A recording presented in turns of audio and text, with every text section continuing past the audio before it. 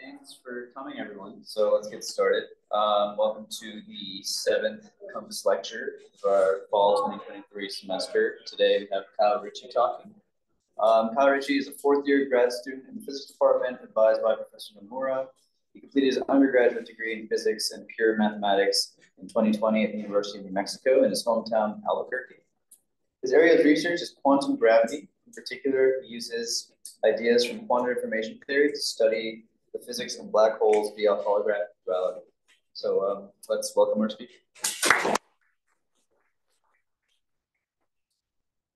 Hello. So yeah, uh, I'll be talking about the, the things that you said I'll be talking about. Uh, basically, black holes and their connection to quantum information.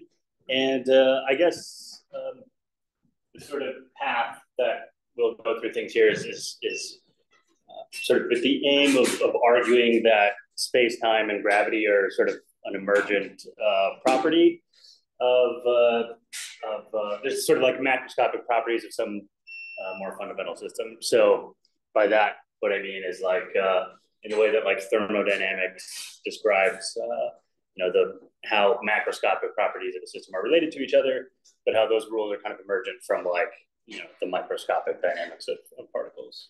Uh, so sort of talk about how gravity is a similar sort of thing. Um, okay, so some some basic motivation.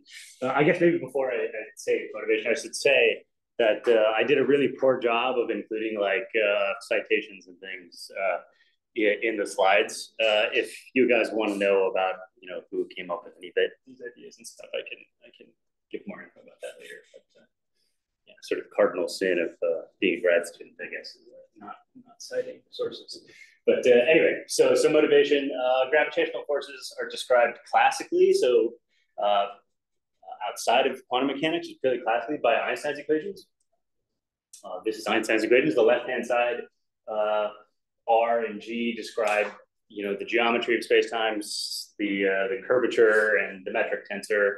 Not important things. The important thing is that they're they're geometric objects. And then the right-hand side, this T describes the matter content. Uh,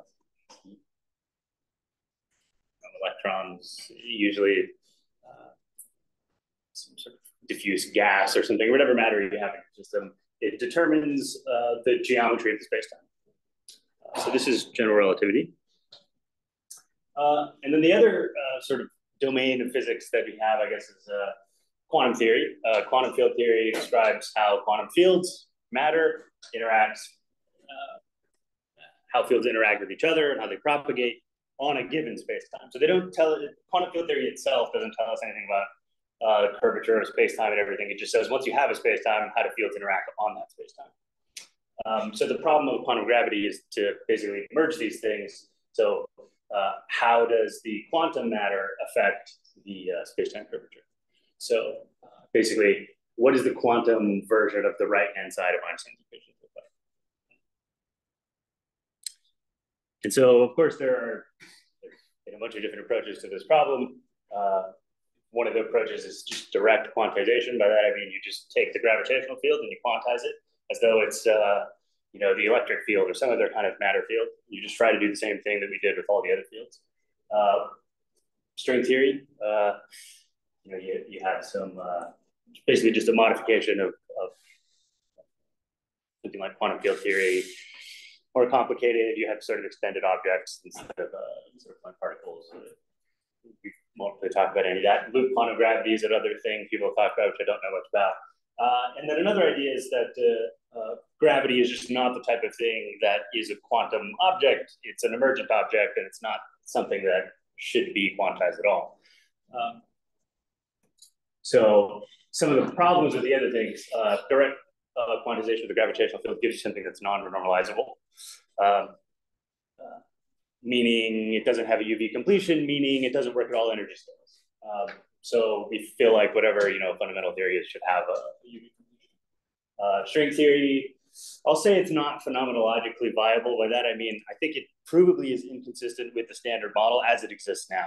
Uh, it's only consistent if you include like supersymmetry and things like that. Uh, loop quantum gravity is just kind of weird. I don't, I don't really know anything about it. And I don't think people take it too seriously in terms of, uh, it suffers from some of the same problems as like string theory. Like it just doesn't connect with the, with, the full standard model that we that we know we have. And then emergent gravity is cool, and uh, it's uh, it's based on this idea that yeah, gravity's not fundamental. Like I said, it's it's it sort of emerges from uh, you know it's it's describing relationships between macroscopic properties of a more fundamental system. Uh, in that sense, it's only effective. Um, so uh, you know, uh, Freeman Dyson once said about quantum gravity that it might have just been foolish to try and treat gravity as a you know a quantum phenomena all along because if it's something that's emergent like a temperature it would be foolish to sort of try and quantize temperature it's just not it's just not that kind of object gravity might be like okay so i'll say a few things just what i mean by emergence in general i'll give two sort of simple examples where something related to uh, uh, space-time emerges, arrow of time from sort of statistical considerations. Um, and then I'll talk about how like thermodynamics comes from statistical mechanics. I'm not going to give really any details, uh, sort of math details of these derivations. I'll just uh, give you the general sort of arguments, uh, how you get them together. I'll talk about black hole thermodynamics, which is the idea that specifically the physics of black holes is analogous to, to classical thermodynamics. We'll talk about the holographic principle, which is uh, uh, just sort of a, a, broader idea about how uh, dynamics in spacetime are related to dynamics in a, in a quantum theory. And then holographic duality, which is a specific example relating quantum gravity in a specific spacetime uh, to a specific quantum field theory without gravity. Um, and this is the sort of the most mathematically rigorous aspect of, of uh, holography, um, or sort of emergence where we can actually compute like what gravitational things uh, or how gravitational things are related to quantum things. We'll talk about that last. Okay, so just what do I mean by emergence?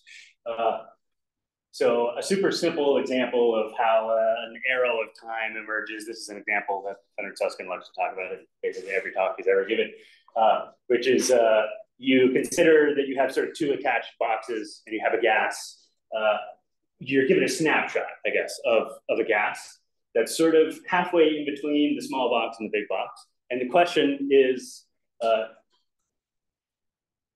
can you answer the question like, did the gas start from the small box and go into the big box? It seems like from our intuition, we'd say, yeah, it looks like you know the gas started in the small thing and sort of spread out into the into the larger area. Um, but in order to, so, so it turns out we can't actually like make that assumption unless we do something like add a hole in the box where things can escape. So I'll kind of explain what I, what I mean here. So there's two cases.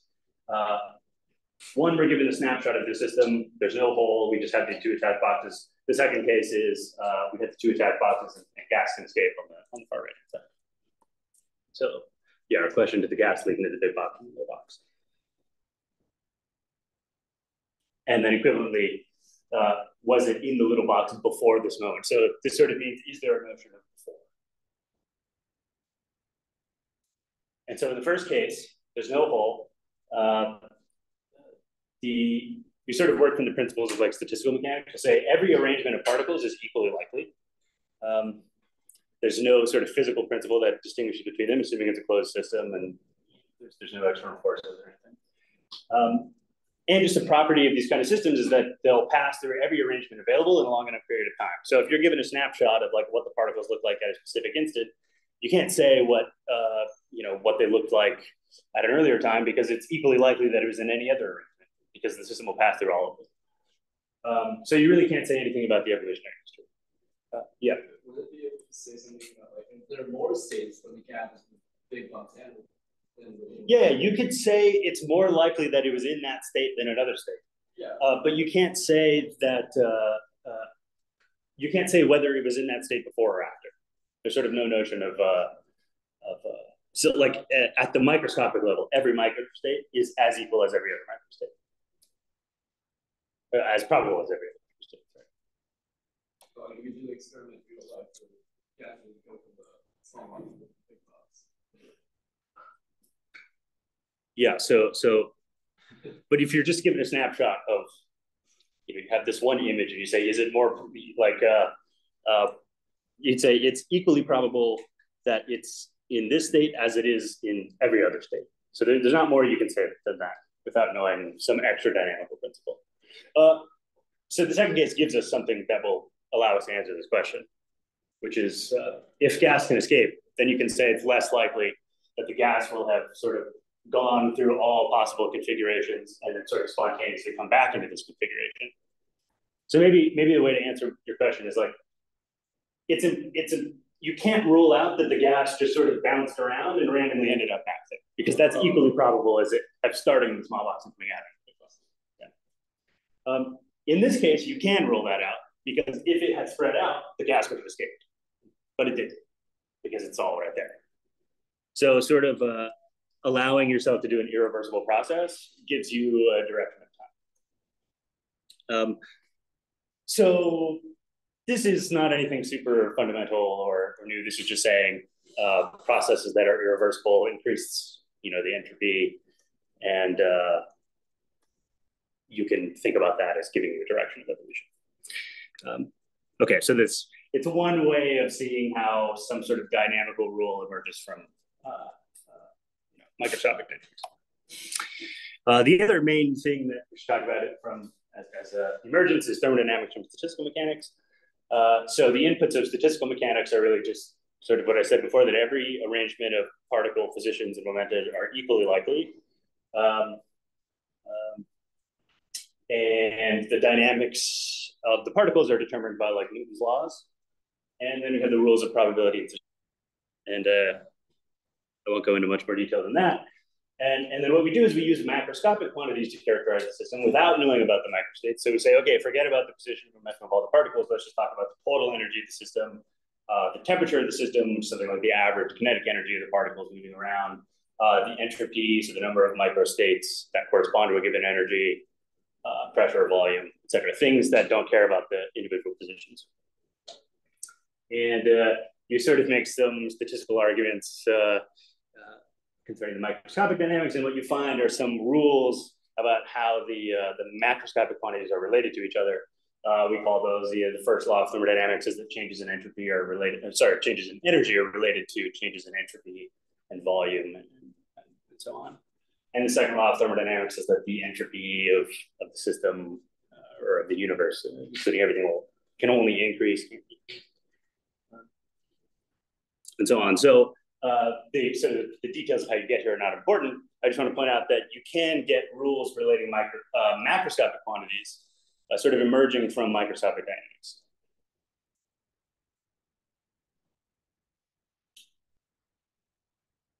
And so that's what I mean by emergence, and I'll sort of try and give some somewhat flimsy arguments that gravity is the same way. Flimsy because not because the arguments that uh, people have given historically are flimsy, flimsy because uh, it's hard to kind of condense those down into, into something palatable in this context.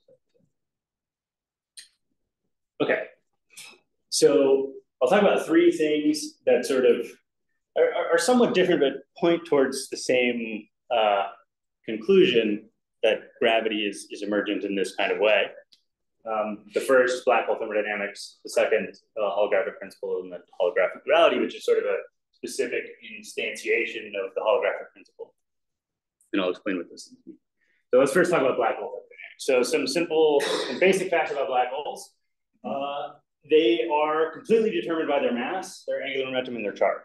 What I mean by that is that the entire space-time geometry depends on only those parameters: the mass of the black hole, their charge, and their and how fast they're rotating, their angular momentum. Um, that means um, there's the only free parameters that show up in Einstein's equations. Uh, okay, so that's one fact. So, so I guess that sort of means that there, there's not a lot of wiggle room for you know uh, anything uh, microscopic. Uh, you can't know much microscopic detail about a black hole. It just doesn't depend at all on what the particles are doing inside the, the horizon or anything. It just depends on their total mass. Um, okay, another fact about black holes is that their area is proportional to the mass squared. Basically, you can think like the Schwarzschild radius is proportional to the mass, and the area is proportional to the radius squared. So uh, that's a fact we'll use. And then another fact is the, the Hawking area theorem, which proved classically that uh, any dynamical process, meaning sort of any interaction of the black hole with stuff outside the black hole, will cause the area to increase. Um, we know that's sort of just a classical result because of Hawking later proved that uh, with quantum effects they evaporate, and of course their area shrinks when they evaporate. But ignoring quantum effects, just purely classically, uh, black hole areas can only increase. And uh, maybe you could think about that that as being sort of reminiscent of something like the second law of thermodynamics. Um, we'll, we'll, sort of expand on that analogy. Okay, so so here's a thought experiment that uh, this guy Bekenstein used to used to do or used to think about. Uh, so you uh, you have a box of matter with some entropy, S matter. Uh, you throw the box into the black hole. Uh, the box is sort of not there anymore. Um, the black hole sort of just scrambles it, doesn't care about its macroscopic details anymore at all because it, the black hole is purely described by its the mass and charge, so it just doesn't say anything about the matter, um, or at least about the, the entropy. Um, and so the entropy has somehow decreased because you had some matter, some entropy uh, in the matter that you threw in, and that entropy's gone, and so you're very sad because the second law of thermodynamics is violated. Um, and so Bekenstein says, well, obviously the black hole just has the entropy. So, you know, the entropy of the universe really increases, right? And Simplicio says, Bekenstein, uh, you fool, this conflicts with the fact that the black hole geometry is completely determined by MJ and Q. There's just no way to account for the, uh, for the entropy. Because the entropy of the black hole uh, requires knowing at least something more than just the mass and the angular momentum uh, and so Bekenstein's answer is that, well, okay, that's correct. Uh, but there is a quantity which always increases under dynamical processes, and that's the area. And so we can at least say that the area increases. And so maybe the area is somehow keeping track of the entropy. Um, that's really the only way out of this problem that the second law of thermodynamics is violated, that somehow the area has to compensate. Um, and of course, uh, the guy who's arguing with is mad that uh, he found a resolution. Okay, so the resolution is, yeah, the area, uh, the entropy of the black hole is uh, related to the area. Yeah. Is this like only classical? Yeah, this is purely classical. Um, yeah, that's that's a good, an important uh, point. So, um, so anyway, so yeah, we assume that the uh, the entropy of the black hole is proportional to the area with some proportionality constant that you would compute by by requiring that it you know, uh, uphold the second law of thermodynamics. Uh, he didn't know what it was at the time. Yeah. Uh, it's the same as just keep making the mass keep track of the. Yeah. Yeah. Yeah. So the fact that area keeps on increases basically is, in some sense, separate. Like it's not something that is just postulated from the second law. It's, it's its own thing, and from that, it's inferred that it's related yeah, that's right. So the area increases like that's just a purely like a GR result that under any and any physical process, the area can only. It really just comes down to the fact that things can go into a black hole but can come out classically. Um, okay, so people really did not take this idea seriously when he came up with it because they're like, okay, it makes sense, like the argument, but there's really no evidence for it outside of these sort of thought experiments. Um, just to draw a little picture here of, of what the setup was, you throw some matter in, it increases the area, uh, and we say the change in the, uh, the entropy outside plus the area is, uh, you know, minus the change in uh, entropy on the outside, so negative S matter plus the change in area, and we're going to require that that is positive. And so that means that the change in area has to be greater than whatever the entropy of the matter you threw in. Yeah. Why is area uh, well, because we we postulate because area is the so so you could say, yeah. So in simple geometries, the area is proportional to the mass squared. If you have charge and angular momentum, that's not exactly true. Oh, it's proportional to some combination of those. Yeah. So that was yeah a detail I, I sort of ignored. Okay, so we can make an analogy with thermodynamics in this simple case where the area depends only on the mass, like a Schwarzschild black hole. Um, so you take the energy of the black hole to be proportional to the mass with some proportionality constant I call alpha. Uh, think E equals mc squared, E is proportional to m. So we say the energy of the black hole is just m. Uh, you take the entropy to be proportional to the area, which is proportional to m squared with some constant beta, and you take derivatives, And you see that you can get an equation that looks sort of similar to first law of thermodynamics. Change in E is related to change in S by some constant T, which in T is from, from uh, how we define E and B, how it has to be alpha over beta times one over. So you see that uh, by calling entropy the area, uh, it sort of, and making an analogy with thermodynamics, it sort of predicts that there's a temperature that goes like one over mass. Uh, so this is something that, that Bekenstein knew back in the day, but nobody cared about because uh, you can't, this is sort of as far as you can take this argument. Um, but of course, Hawking would later calculate quantum effects uh for fields near a black hole and would find that uh, black holes do radiate and they radiate at a particular temperature called the Hawking temperature. And it just turns out that in all the cases where you can, where you actually know what these proportionality constants alpha and beta are for uh, relating the, the entropy to the area and the energy to the mass, the Hawking temperature agrees exactly with what Bekenstein calculated by just making an analogy with, with thermodynamics. So I think this sort of uh, made people really take these ideas much more seriously, that uh, somehow the classical arguments for GR knew something about the quantum effects on the black hole background.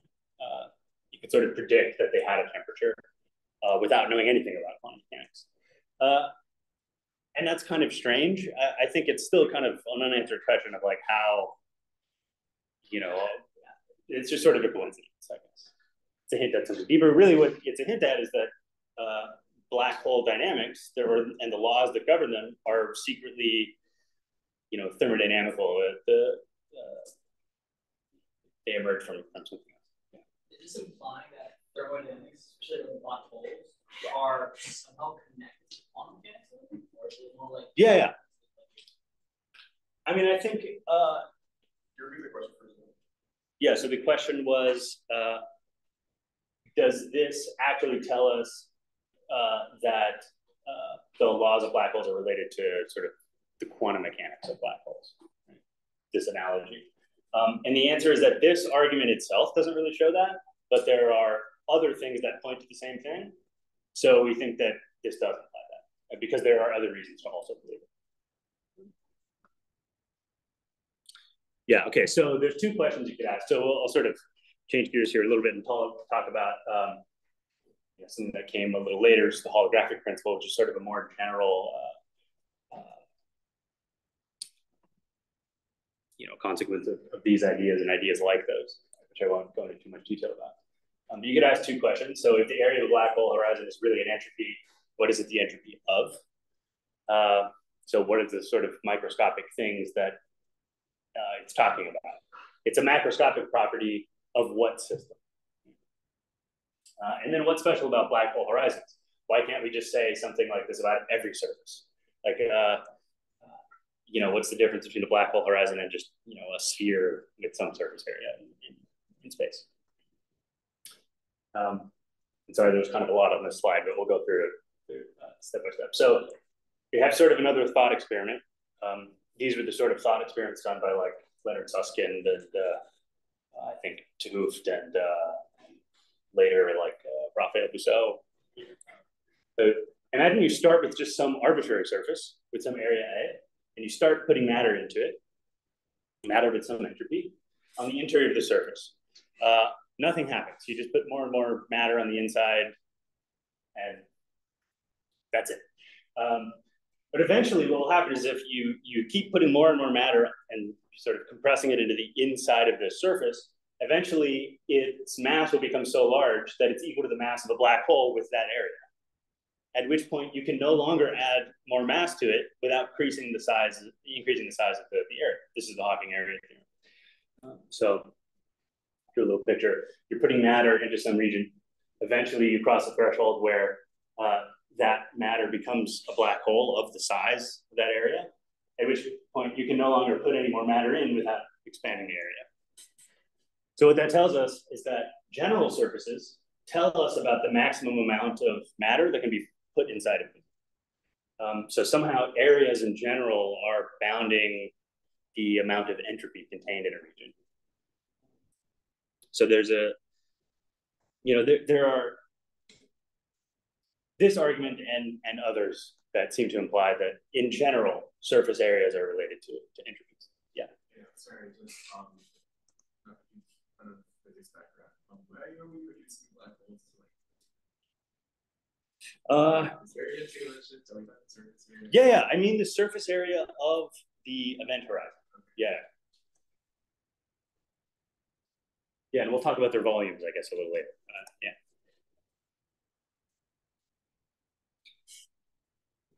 And uh, yeah, I guess the reason that areas ended up being important is because of the Hawking area theorem. You know, just sort of happens that the, the thing that always increased under dynamical processes was the surface area and not something else. Um, you know, if he had said their volumes increased, we would have probably just made the same analogy with entropies and volumes. Okay, so yeah, the area of, so the answer to these questions is, yeah, the area measures the entropy of the matter contained within it.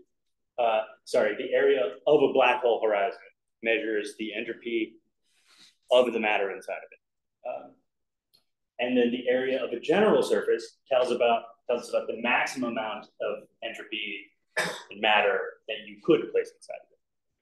Uh, so somehow, uh, you know, there, are, there are much more robust arguments and examples that lead to a sort of general holographic principle, principle which says that surfaces encode information about the matter enclosed. Um, there's a lot more to say about this that uh,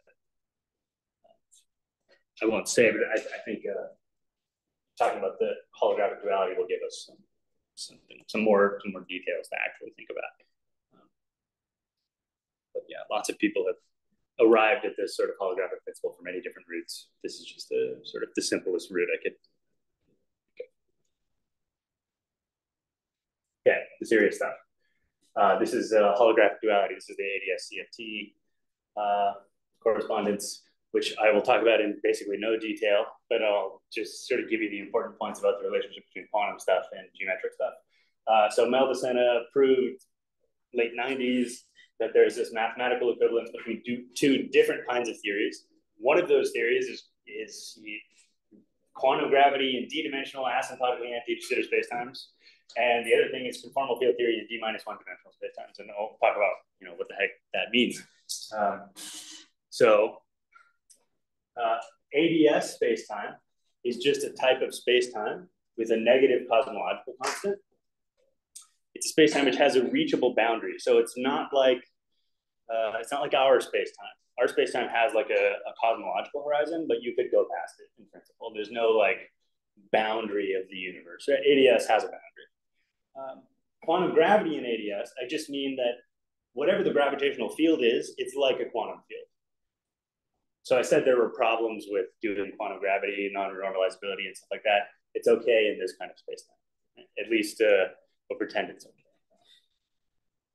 So, so that's what sort of we mean by you know, ADS quantum gravity. It's particular type of quantum gravity in a particular space-time.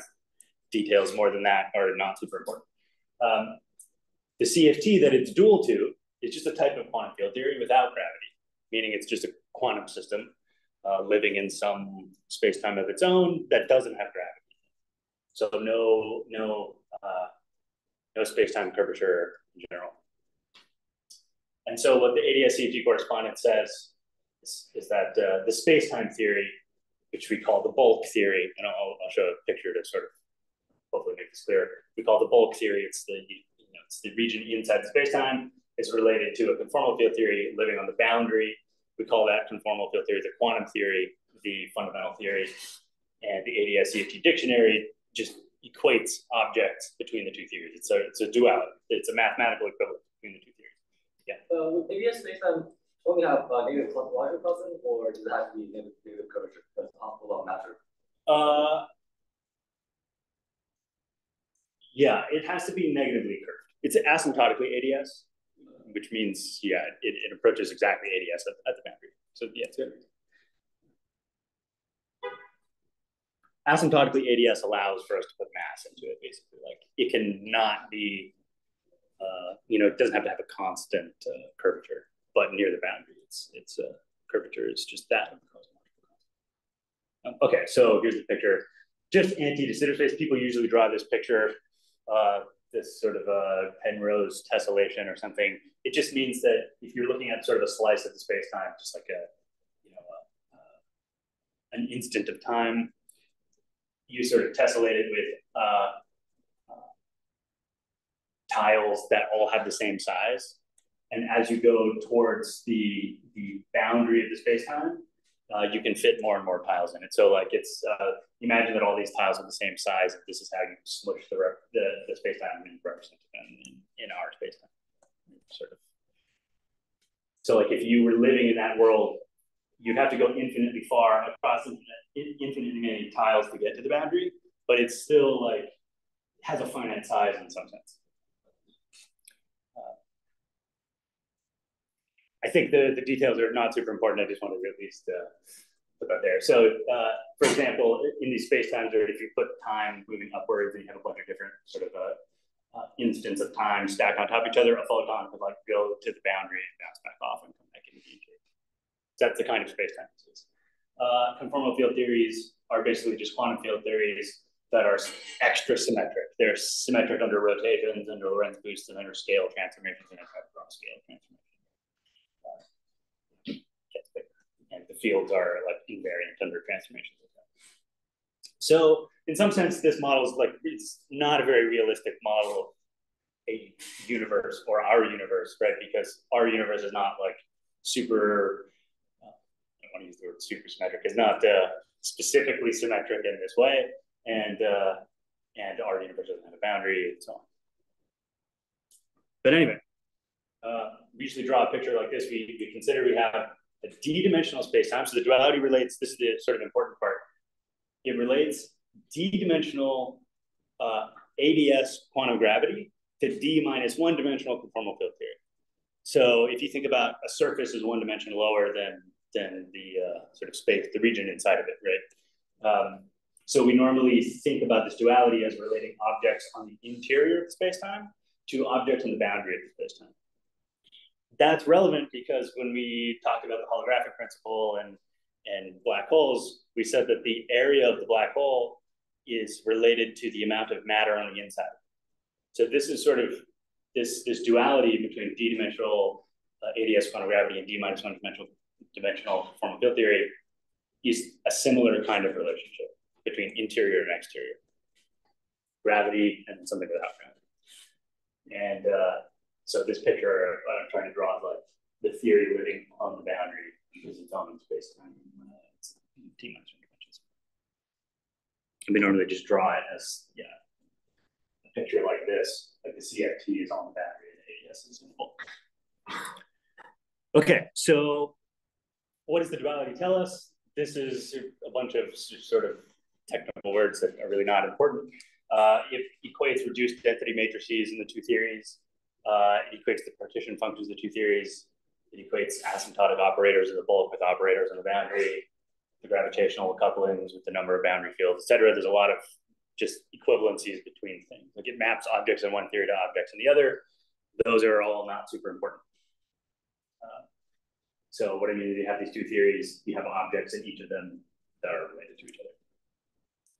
Relate quantum states, relate the Hamiltonian, relate the partition function. You can relate gravitational coupling constants. Uh, you can relate, so, so for example, you can relate uh, Newton's constant in the gravitational theory to the number of quantum fields in the, in the theory.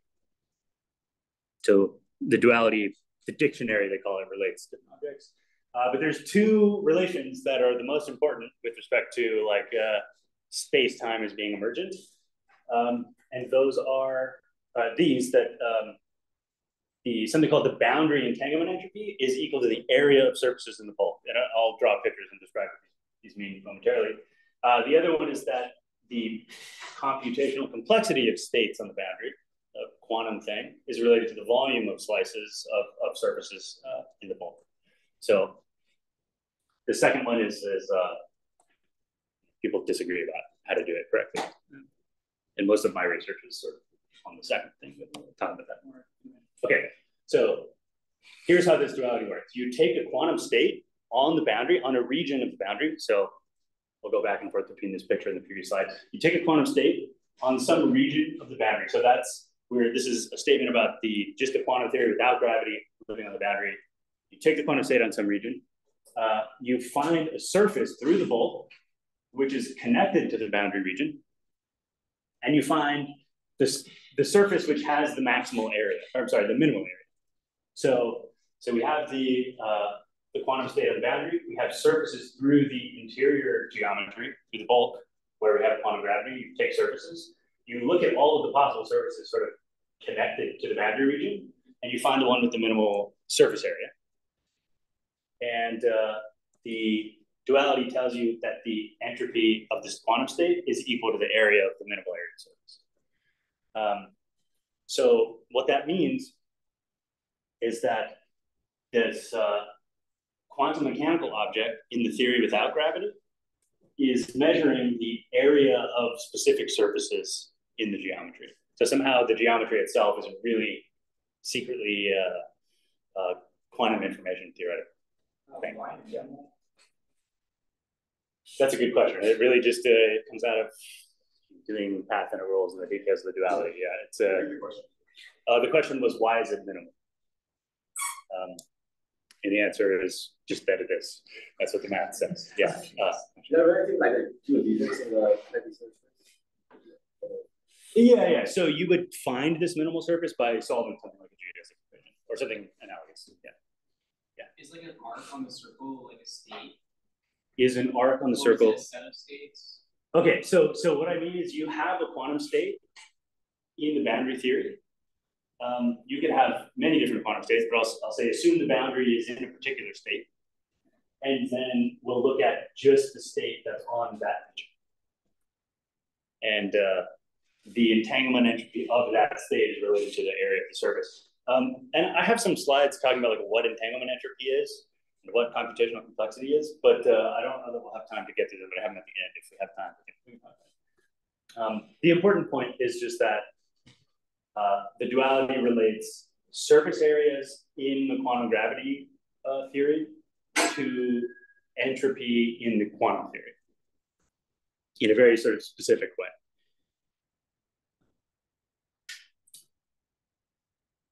Okay, so I'll talk about the other uh, geometric uh, duality, which again I said, said is kind of debated. The details are debated, but I think some version of this duality is believed to be true. Uh, so we do a similar thing. So we take some region of the boundary theory and some quantum state on that region, rho A, uh, and we compute something called the computational complexity of that state. It's just some, some quantum mechanical property of that state. Uh, we find the minimal surface that we found before. So we have the state, we compute, we, we find this surface, and then we're going to fill in this region with, uh, with a volume. So actually, uh, I'm trying to draw it here. So we uh, take the boundary region, find the minimal surface, fill it in, and there are a bunch of different ways we could fill it in. So if you sort of look at the side view, you could fill it in with a surface that sort of goes down, a surface that goes up and is wiggly, or you could fill it in with some surface that's you know smooth. You find you you sort of look at all possible ways of filling it in, compute their volumes, and you'll find one that has a maximal volume. There's sort of a maximal way of filling it in. And the duality tells you that the computational complexity of the state some, some property of the, of the quantum state is, is equal to the, the volume of the maximal slice. Um, so it's just sort of another example, I guess, of a, a geometric object in the quantum gravity theory that is computable by just do by just looking at the quantum state that it's dual to it and computing its complexity. Uh, complexity is kind of analogous to entropy. It's uh, maybe I'll say it. it is in a moment. Yeah. I'm just I'm confused why you can't just draw like a huge bubble. Like why is it gotta be like you have these nice little like concave but I mean a maximal volume could be like a huge bubble. That's like yeah, yeah, yeah. So that's that's a good question. So really time is going upwards in this picture. And you could think as surfaces get more and more uh, uh, as, as they bulge more and more into the future, they become closer and closer to being like null, uh, meaning in the same direction that a light ray would travel. So light rays sort of travel at 45 degree angles. And the length of path, the, the, the length of light-like trajectories is zero. So actually, like as you go further and further up, the volume gets smaller and smaller, which is just kind of a weird property of this particular geometry. Yeah.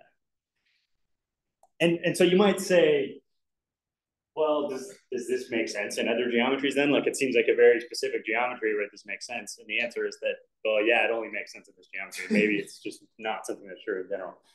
Yeah. Wouldn't it be symmetrical in both like back in time and forward time? Because looking at the volume that's like Yeah. approach and light and degree angles. Right. So wouldn't it be like symmetrical? Yeah, so if you have uh, like what they call a vacuum ADS, so ADS with nothing in it, then the maximum volume slice is just the one that's like flat. Because as you go towards the future or the past, it gets closer to being normal, and it's uh, time time symmetric. But in general, remember this ADS spacetime is just asymptotically ADS, so you can have matter, and that will, if there's say there's a black hole in the spacetime, that will affect what the, the curvature looks like. Okay. So the point of all of that, the, like I said, details being somewhat unimportant. The point is you can relate geometric uh, this in this specific set of theories, anti-de Sitter space, quantum gravity, and conformal field theories. You can relate uh, geometric objects to things that are purely quantum mechanical. Um, so in some sense, it gives us an explicit example of the holographic principle being realized where so we sort of had general arguments well before the the uh, invention of holographic duality that somehow areas were related to entropies classically, and uh, and uh, now we have from just a completely different avenue uh, a mathematical equivalence between a set of theories where where that duality is actually true. Um,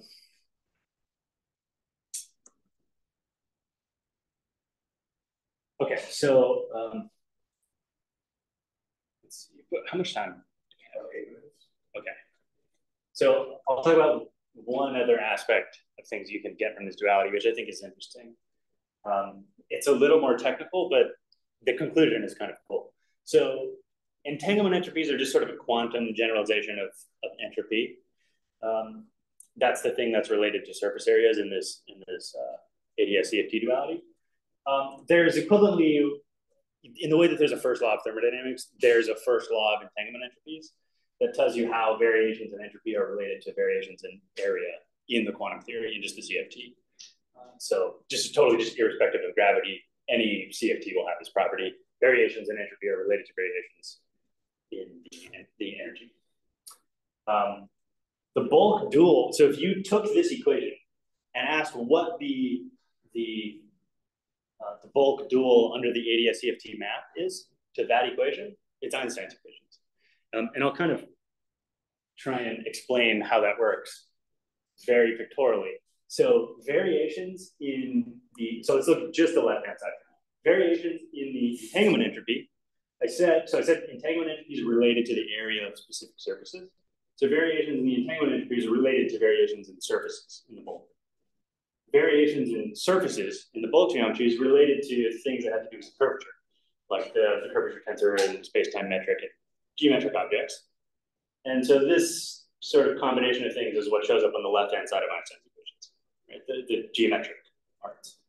If you look at the right-hand side of the equation, we're varying the energy in the CFT.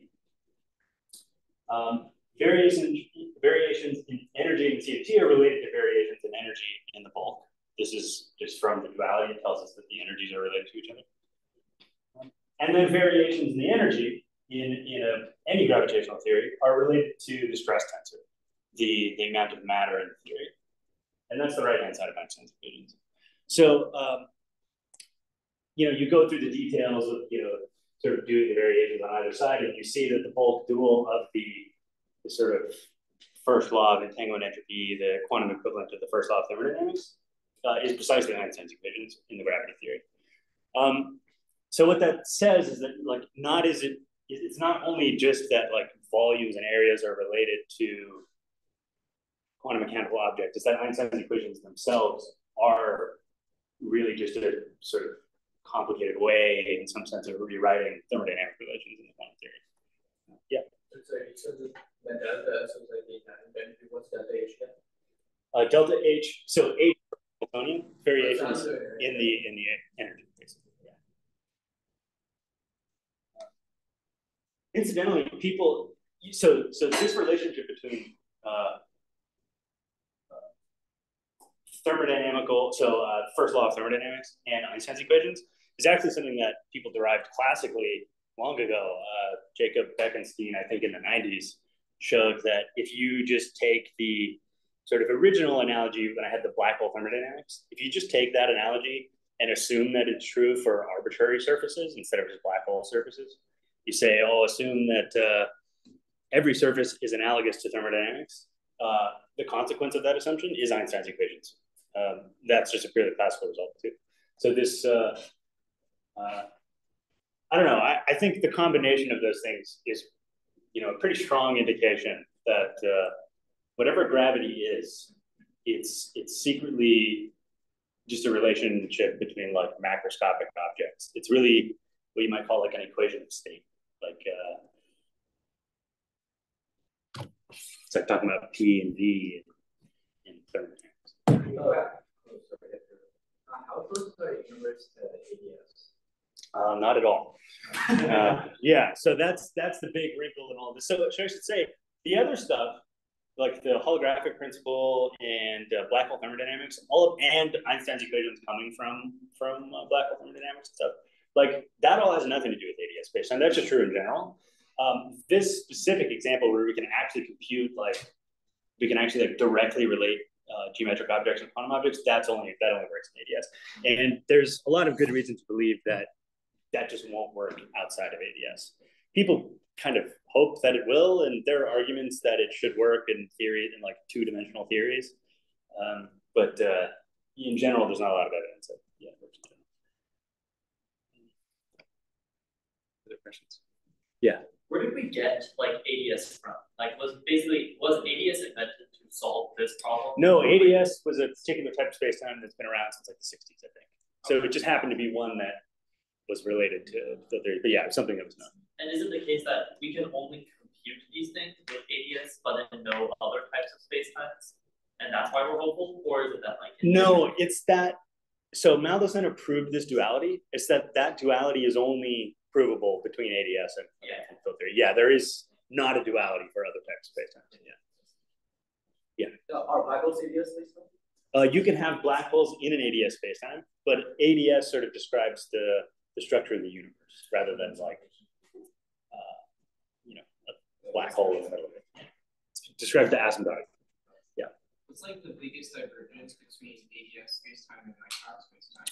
Um, so ADS spacetime is negatively curved, which means it has a reachable boundary. Uh, a universe like ours is presumably positively curved and is expanding and has no boundary.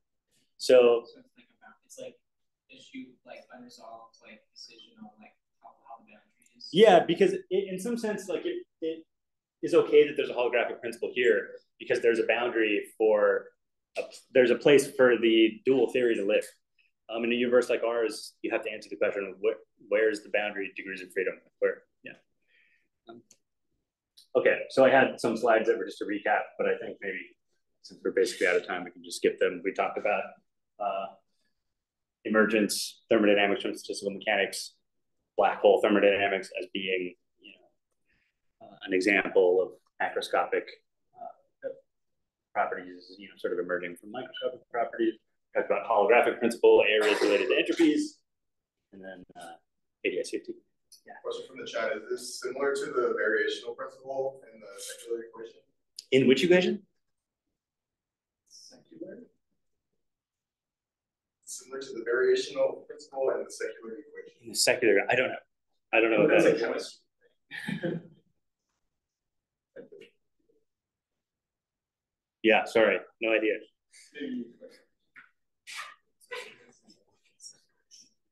Yeah. what's like, like, what is holding like, what else do we need to like know in order for like, like this like, like uh, obviously like, we're not an ADS space like, yeah. What would make like our space like like that? Uh, I, I I- it depends on who you ask. I think some people think it's just a technical problem. Um, so, for example, like the arguments from earlier in the talk, like the holographic principle and black hole thermodynamics, all that has nothing to do with ADS. And so you, we sort of take that as thinking, as, as indicating that something like holographic duality is just true in general. Uh, we just don't know how to do it for other other spacetimes. Um, some people, particularly like a lot of string theorists, uh, so ADS-CFT comes out of string theory. Uh, some people think that, I think for good reasons, it's just mathematically not possible to have a duality in, in any other spacetime. And uh, in which case, yeah, I don't know. Seems like something that should be true in general because there are other arguments for it, but. Open question. We have more time for questions, but can we at least just thank our speaker and at least open up the Okay, directions? thanks.